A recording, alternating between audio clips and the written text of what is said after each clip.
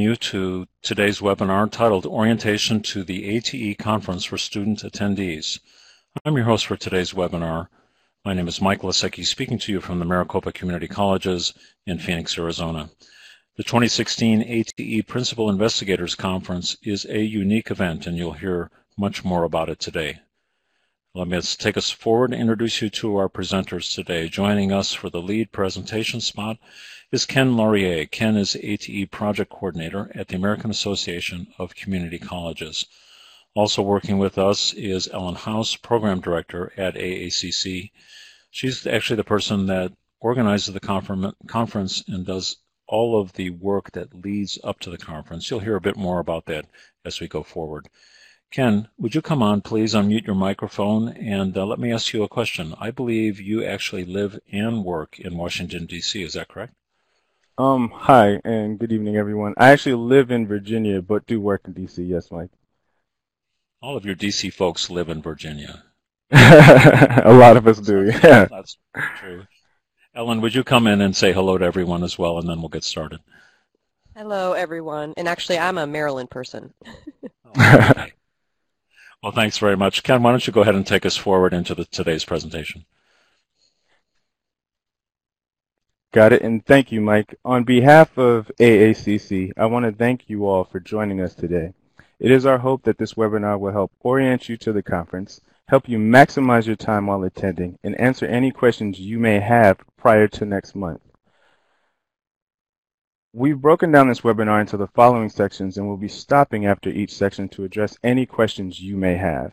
For your reference, we will provide an ATE conference overview, which will give you a general conference background, registration, hotel, and travel information, and an overview of ATE student-related events, where we will go over student participation and student events at the meeting and address other commonly asked questions.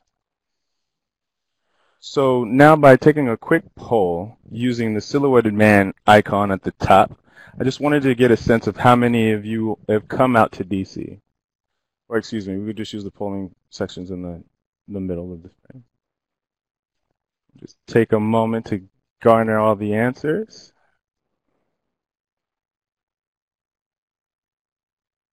It's like a majority of people, it's going to be the first time. Okay, Mike, we can um, close that. Oh, that's awesome, and that's very excited. We're happy to be hosting and being the reason that you're going to be coming out to the Washington, D.C. area. In this section, what we'll cover is the what, the where, the when, the who, and the why. So I can bet a lot of you are wondering, what is ATE? AT actually stands for Advanced Technological Education, and all of your programs of study are funded by ATE grants to your college from the National Science Foundation. This conference is called the National Advanced Technological Education Principal Investigators Conference. Don't worry, we won't quiz you at the end, which is referred to commonly as the ATE PI Conference or ATE Conference for short. So what exactly is a PI? PI stands for Principal Investigator, which is a term used to describe a project director for a grant. The ATE Conference is a national professional development and networking event for PIs leading ATE grants and their project partners. The event is co-sponsored by the National Science Foundation and the American Association of Community Colleges and is primar primarily funded through a grant to AACC. For those of you who may not be familiar with AACC, we are the primary advocacy organization for the nation's community colleges. AACC promotes community colleges through five strategic action areas, including recognition and advocacy, student access, learning and success, community college leadership, economic and, economic and workforce development, and global and intercultural education. AACC has been working with NSF to host an annual ATE conference for the past 20 years. Now I want to take a moment to show you a brief video of the conference, which will give you a visual introduction. Mike, if you would be kindly to start the video. I will, Ken, and let me remind you attendees that sometimes on some computer systems, sometimes a Mac, sometimes not, you might have a little difficulty playing this. It might not automatically play on your screen. So just have to deal with that. It's just about two minutes long. So here we go, Ken. I'm going to go ahead and launch the video.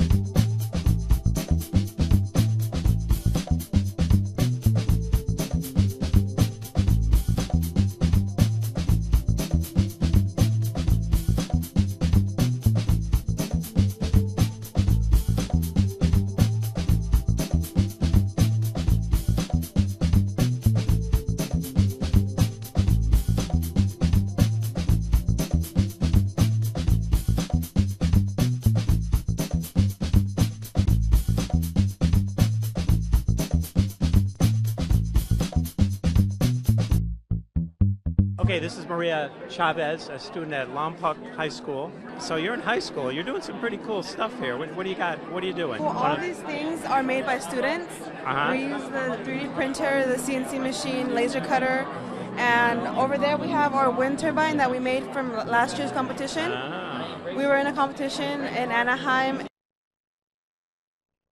and we won first place. really? Yeah, With our the wind turbine? yeah, Yeah. It, it produced the most energy. We made like 55,000 milliwatts. I'm also in the Cash Academy, Business Academy, at my school, so I want to mix um, engineering and business together. Nice. Well, congratulations. Thank you. Great job.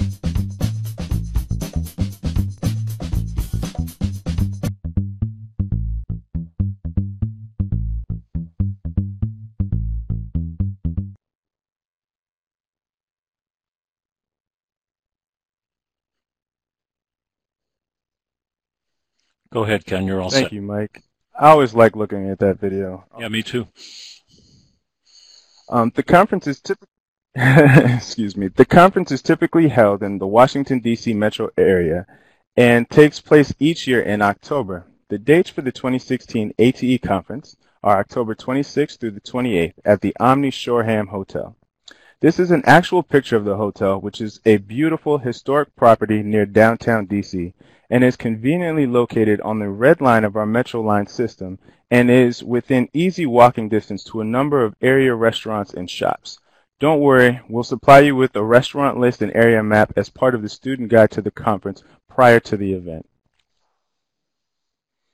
Approximately 800 people attend the conference each year. Participants include those leading grants for ATE projects and centers and their grant partners from business, industry, K through 12, and four-year institutions. The conference also provides the opportunity for approximately 60 students to attend, which you all are part of. So be proud of that. NSF program officers and AACC staff attend as well as selected guests to repres which represent the federal government and STEM-related nonprofits and associations. In addition to the benefit of attending as described in the quote above, the ATE conference provides an opportunity for you to meet other students, learn about new technologies, learn about various STEM career fields, as well as provide you with an opportunity to learn from ATE leaders and industry representatives firsthand. The conference will also hopefully give you a chance to see DC and tour the city while you are here, since for a lot of you it's going to be your first time. Now on to conference costs, as I know you are all wondering who pays for what. I was once a student, so I know how important it is to budget and get a sense of what you are financially responsible for. For students, AACC will cover the registration fee and two nights of lodging. All other expenses will be covered by your respective institution or by your sponsoring ATE grant. If you have not already done so, you should discuss airfare, ground transportation, and meal expenses with your PI. The majority of students travel with their PI, therefore airfare and ground transportation to and from the hotel are covered. But if you are not traveling with your PI or another grant team member, you should talk with your PI on how ground transportation will be covered. AACC will provide the following meals during the conference. A reception on Wednesday evening, as well as a breakfast and lunch on both Thursday and Friday. Please note that you will need to pay for any additional meals outside the aforementioned and should plan accordingly for souvenirs. Now for hotel accommodations, registrations, and respective student activities. All students must use the 2016 ATE Student Information Request Form to make hotel reservations. Please do not make your own hotel reservations. If you have already done so, do not cancel your reservation. Just be sure to include that the confirmation number on the Student Information Request Form. This will guarantee that your room is covered by AACC. As stated before, AACC will cover two nights of lodging.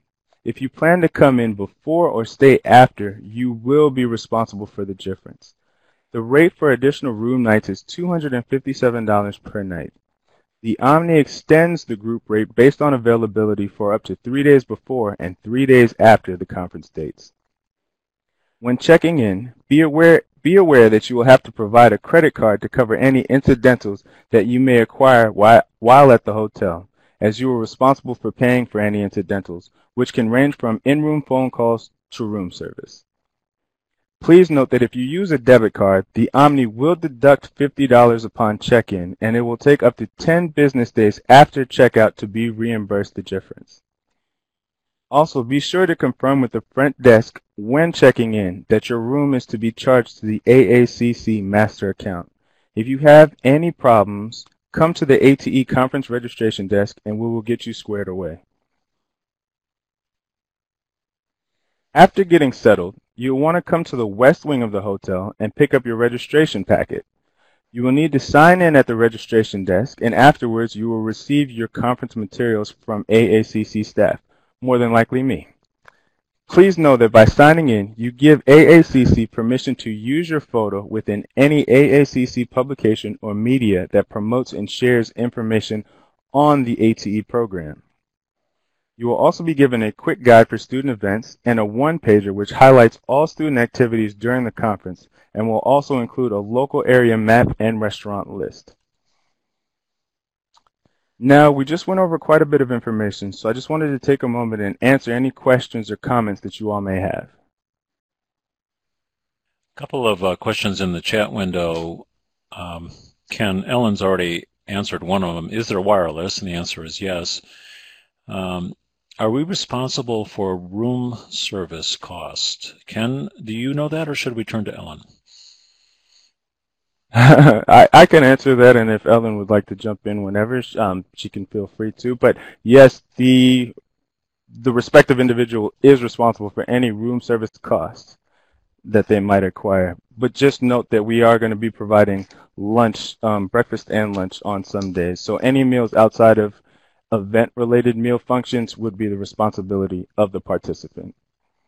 And room service is sort of spendy, isn't it? Uh, it is. okay. Uh, also, Ellen pointed out that even though on Wednesday night, even though we, we don't call it a dinner, holy cow, there's all kinds of hors d'oeuvres and sandwiches, and you can pretty much think of that as a dinner. So that's a good point. Yes, it's uh, it's very heavy, um, heavy hors d'oeuvres and everything else like that. So you can definitely stack and make a good plate. if you here's one question that just came in. It says that if you if you check in and the hotel says you have to pay for your room, you know that, that they got it wrong, sort of. What do you do? Mm-hmm. Well, I would ask that individual to come to the ATE conference registration desk located on the west side of the hotel and let us know. We'll make sure that the two nights lodging are complimentary and taken off your bill. Please note that the initial hold for incidentals upon check-in is not you paying for your room, and you will be refunded the $50 hold if there were no additional charges, i.e. room service or movie purchases. Good, Ken. Take us forward into the next section. During the conference, students often have the opportunity to present at various conference sessions. In the past, we've had plenary sessions, concurrent sessions, and breakfast roundtables led by students. This year, students will be asked to attend the Thursday morning plenary session, which will feature a student and faculty member panel. We will have space reserved in the front rows for students who will have the opportunity to ask questions first of the panelists at the end of the session. In addition, the conference will also offer an industry speed networking session specifically for ATE students. This session will afford students, student participants the opportunity to meet accomplished business professionals from a variety of backgrounds and companies. This special student-only session promises to be an enjoyable, fast-paced, and informative experience where you'll be given an opportunity to get some one-on-one time with industry contacts and where you will acquire and practice interview and communication skills. Also, new this year, for students that are arriving on early on Wednesday, AACC is sponsoring an informal meet and greet where you will be given a guided tour of the Omni and its extraordinary history. Afterwards, as an informal group, you will have the opportunity to go out and explore DC prior to the 6 p.m. opening reception.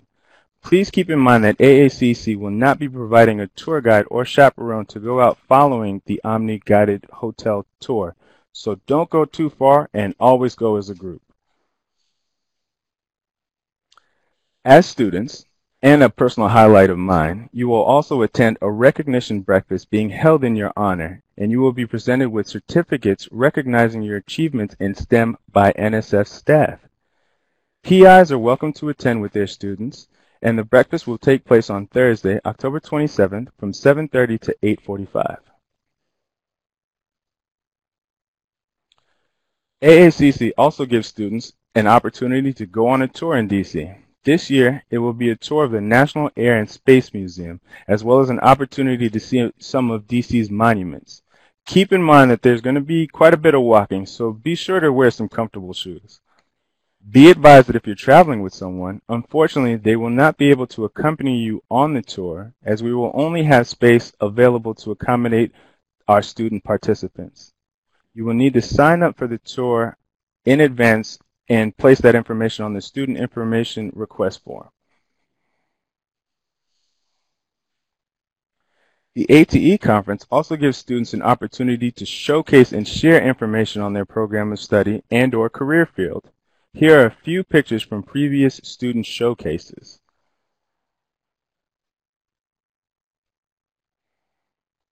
Here is a sample of how the showcase abstracts will look when printed in the conference program, as you are all asked to contribute a student showcase abstract with your student information request form. Students are expected to prepare a display related to their program of study and or their current work for the student showcase session. Students will present at the conference showcase on either Thursday or Friday. The times respectively are Thursday, October 27th from 12 to 2.15 and Friday, October 28th from 10.15 to 12.30. Here is a map of the exhibit hall where the showcases will take place. Students will showcase right alongside ATE projects. Each student can request a poster board and pins for their display. If you wish to obtain a poster board and pins on site before your showcase setup, please check with the registration desk and someone from AACC will provide you one for you to mount your display before bringing it down to the exhibit hall. Otherwise, poster boards and pins will be placed at your booth if you have requested one, and you can utilize it during the showcase setup period. Please note that the period to set up the showcase is as follows. For Thursday, October 27th, the setup is from 10:30 to 11:45, with the showcases starting at noon. And on Friday, October 28th, student setup is from 7:30 to 8:45 a.m. with the showcases starting at 10:15.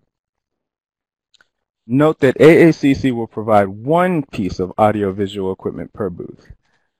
If you are coming with another student from your institution, you will be expected to share a booth. And while you both can have individual poster boards and pins, you can only request one piece of equipment per booth, so please choose wisely. The options are a TV with a DVD player, a 17-inch computer to monitor, or a projection screen. You must request these on the student information request form, which is which is already passed due. And um, we've all been in communication back and forth, so I really do appreciate everybody's um, timely and prompt responses. We cannot also make changes or add equipment on site during the conference. So if you need to change your AV selection, please e email me as soon as possible and email me directly so we can accommodate your respective request.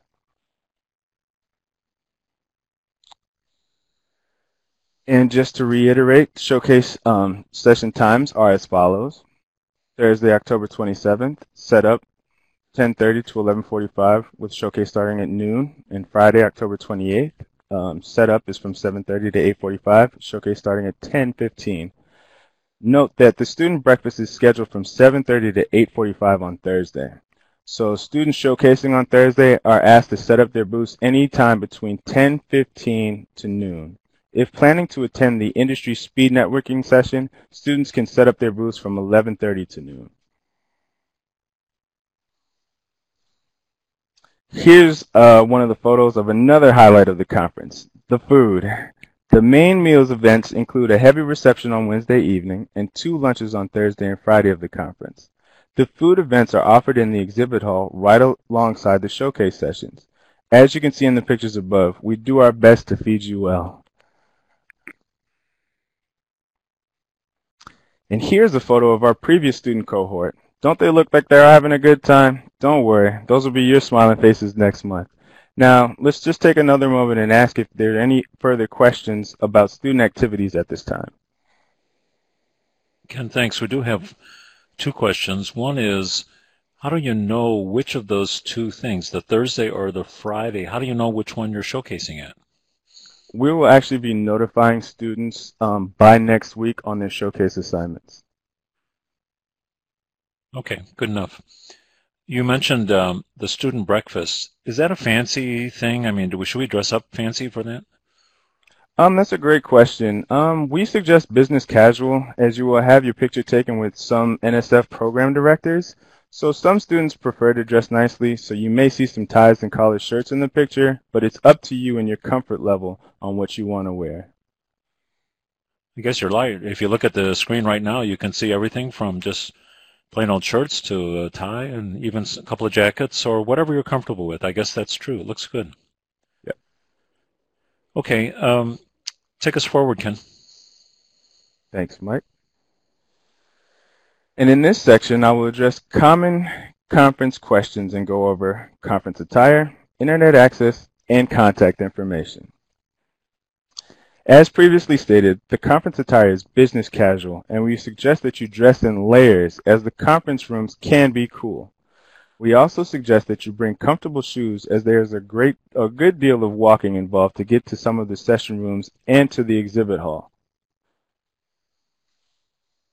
AACC has negotiated with the Omni to provide wireless access code for use by our conference participants in their sleeping rooms as well as common meeting areas of the hotel. We will provide you this code with your registration materials when you check in at the registration desk. And I will take some more questions or concerns if anybody has any. Yes, it had to do with a student who says their showcase, he had hoped to bring up a website that they developed as part of their project, but as far as I can tell, wireless is not going to be available in those showcases. Is that correct? Yes, that's correct, Mike. Um, there will be no wireless access downstairs in the exhibit hall. Okay, good. So they're going to have to. Well, this you you can use static images to show your website. You don't have to actually pull it up live. That's what we do sometimes. So it should Static be okay. images are great, and then also if you wanted, if you had a video or something, you can always put it on a thumb drive or flash drive and just loop it as well, just to kind of give that interaction. Well, that's a good idea. Yeah, video, just playing out a video there too. Okay. Um, go ahead, Ken. I think we're doing fine. And just a reminder that the student information forms were due on Tuesday. So if you've not already submitted your forms or are missing some information, you've more than likely received an email from me just following up. So please respond at your earliest opportunity and get back to me with that respective information. If you've already filled out the form and need to make any changes, please email me or give me a phone call and I'd be happy to accommodate those requests. My contact information is stated above. If you find that you have any questions about the conference or your participation, the best way to reach me is by email, but I always welcome phone calls. At this time, I'm going to turn it back to Mike, but before I do, I just want to express our sincere gratitude and thanks for you taking the time out of your schedules to join us today. I hope that this was informative and gives you insight to what you can expect at the AT conference. Thank you again, and we look forward to seeing you next month. Thank you, Ken. Here's the most critical question. Is there Uber available in DC? that is a great question, and yes, there is Uber available. Good, good. One other question. Many of us will be arriving at the conference at Washington, oh, it's not called Washington National anymore, Reagan Airport, DCA. Uh, what are my options? What are our options getting from the airport to the hotel? Well, you have three options. You can take public transport, which is our Washington Metro Rail system. Uh, there, DCA is the, I believe, the yellow and the blue line. So upon exit, just look at the great big map. You, where you're going to come to is Woodley Park, which is on the red line. So you will have to transfer. This is your first time in DC. I'd say get acquainted, you know, uh, maybe a day or two, and then maybe take the metro. You also have the option of taking a taxi um, from DCA to the Omni Shoreham, or as you mentioned, you can take an Uber and or Lyft to get to the hotel. Good, thank you. I know that um, many of us use the, the public transportation, the metro. It runs till midnight, is that correct? Yes, that is correct, Mike. Um, Metro will be open. I believe it opens around 5 a.m. and then it shuts down because we're actually in the process of SafeTrack, which it should be done by the time um, next month for the start of the conference. But Metro does close at midnight. Do you think there will be time? Here's another question that came in. Is you know this sounds like a busy schedule. Is there any time where students can explore on their own? Maybe jump on the public transportation, go down to the mall to see some of the monuments down there. Oh, definitely, definitely so. I mean, we do have the this the Air and Space Museum on Thursday from 3:15 to 6:30. So although it's a curated tour that gives you an opportunity to kind of see the city, but then you can also after the meet and greet at 1.30 and prior to the reception starting at 6 o'clock have an opportunity to kind of see the northwest um, part of DC where, where the hotel is located. And then you'll definitely have an opportunity on Friday um, if you're still within the area to come and see everything. But yes, we do have a relatively uh, jam-packed uh, schedule for the students. Cool. You know, around the hotel, many of us know that hotel, not every meal is provided with the conference. And so are there opportunities outside of the hotel which can be a little expensive? For example, can I walk over to McDonald's? Is, is that possible? Oh, yes, most definitely. There's a McDonald's, a Chipotle, and other fast food chain restaurants that are, I'd say, within a quick five minute walk from the hotel. Seven minutes at most. And then there's also a really cool strip um, right next to the hotel that has a lot of, you know, um, mom and pop kind of stores too. It really is um, a neighborhood there, isn't it? Ellen is mentioning there's a great diner right across the street. Um, I think I've been there. Uh, it's actually a very convenient place to hang out and, and to, to meet, go places with friends. So I think that's good. But what about at nighttime? Um, can you walk around the hotel? What if you're uh, a young woman or a young man? Can you go out on your own? What's it like? You can go out on your own. We always suggest to just go out in pairs and in groups, just just as a size of precaution. But it is a very safe and well lit highly trafficked area, so it's safe to walk around at night. There's several restaurants and shops within easy walking distance, but we always just want to use caution of your surroundings and we we would suggest to just always go in a pair. Just have somebody that's accountable for you as well. Sure, makes sense.